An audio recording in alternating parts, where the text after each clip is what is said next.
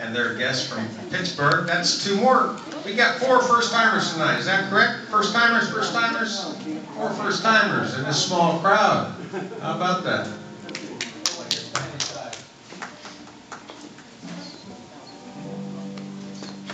This be a great prize.